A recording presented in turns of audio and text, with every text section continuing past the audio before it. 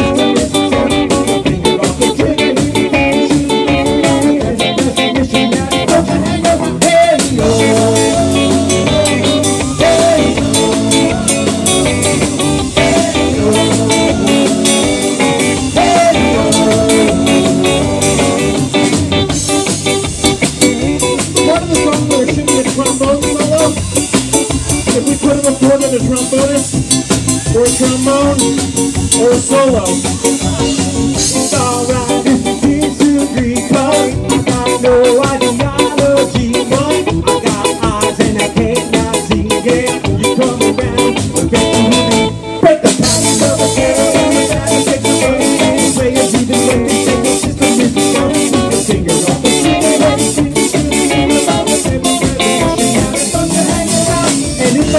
You better take me down. Hey, yo.